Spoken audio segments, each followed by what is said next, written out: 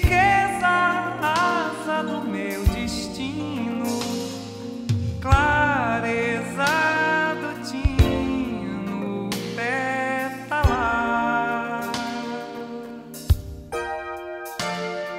de estrela caindo bem devagar.